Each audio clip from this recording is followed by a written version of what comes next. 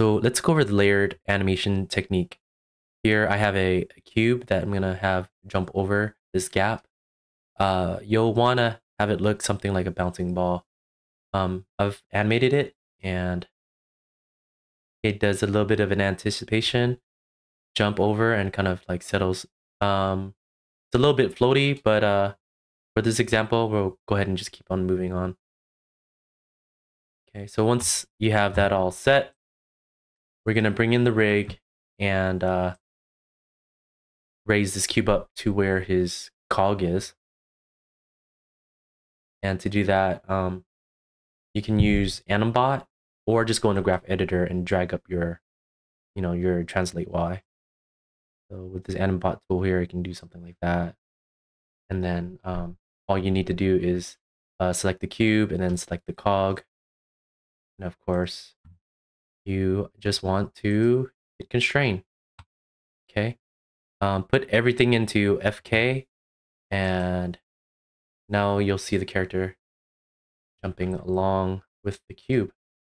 So let's go ahead and hide the cube and layer on the legs. Okay, so I've layered on the legs and you can see that here.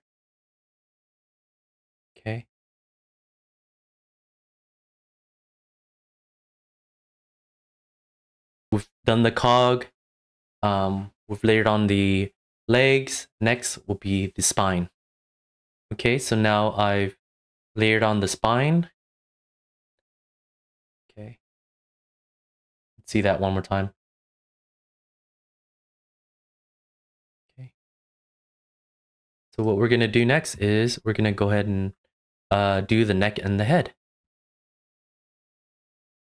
Okay, so now that we've layered on the legs and the spine and the head, this is our final animation. And of course, if your character has arms, you'll want to go ahead and uh, you know block in and animate the shoulders, the arms, and um, you know get that uh, in as well. And You can do that uh, before the head or you know at last. It's totally up to you. I generally like to do that last.